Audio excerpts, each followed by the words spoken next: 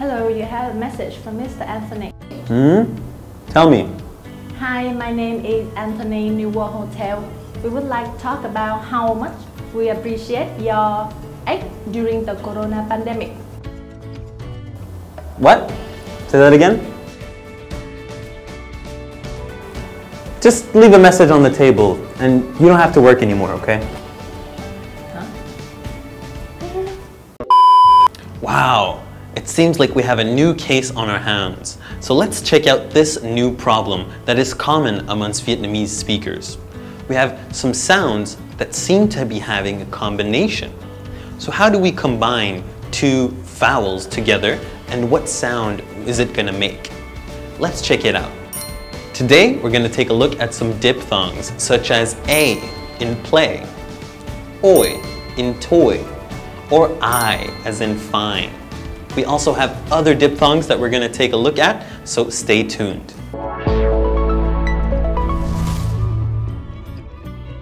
So let's tackle this new problem. When it comes to diphthongs, it's just a combination of vowels. So in the example A, like in the word play, we have a combination of the sound E and the long vowel E. So we have something like play. Or in the word lake. Let's have a look at our second diphthong, oi. In this one, we have a combination of the sounds aw, like in the word sport, and e, as in the word meat. You guessed it, it's a long voweled e. Let's take a look at some examples we have a word like toy. T o y toy. Also the word enjoy, like enjoy this class. Here we have a combination, you guessed it, a and e. Do you think the e is a long or short vowel? That's right, it's a long vowel. Some example words are fine, fine. Or we can say bye, bye. Let's read them out all out loud. Play, lake, toy, enjoy, fine, bye. How was that? Was it difficult? Try again if it's too difficult for you now. The next diphthong is a little bit more special because it also resembles another diphthong. So these two, O and O, are very commonly misconceived or also pronounced the same way. So we're going to look at these two at the same time. O, as in the word bone or home. And O as in the word snow or show. The three next diphthongs are also very similar in the way that they finish with the same ending sounds. In this case, we end with a uh all the time. So, ia, ua, and air.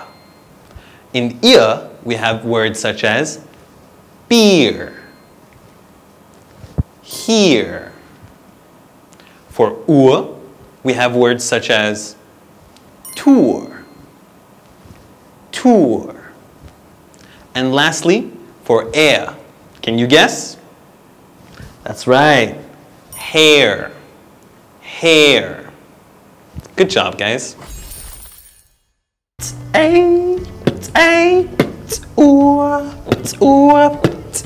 Oh, I'm sorry, I didn't know you were there. Okay, so let's recap all the sounds that we practiced with the diphthongs. Can you keep up with me? First off, we have some vocabulary words here that I want you to repeat with me. Let's try. Train. Trend. Bear. Beer. Boat. Bought. Hair. Head. How was that? Was it easy? Difficult?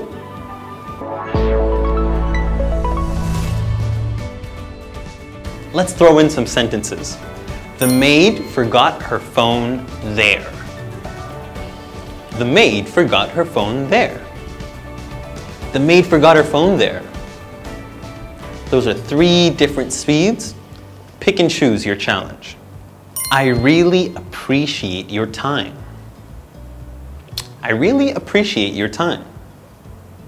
I really appreciate your time. These brown sofas are my favorite. These brown sofas are my favorite. These brown sofas are my favorite.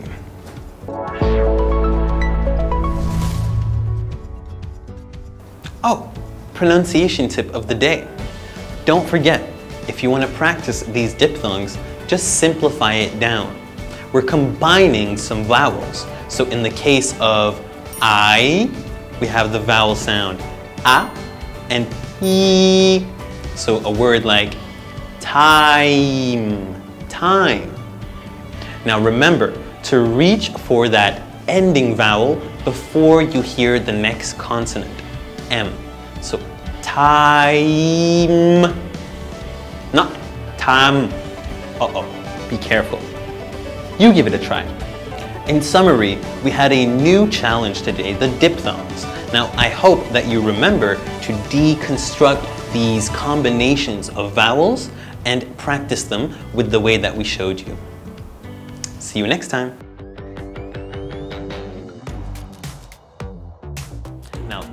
Of these are very important. Yeah. so today, guys,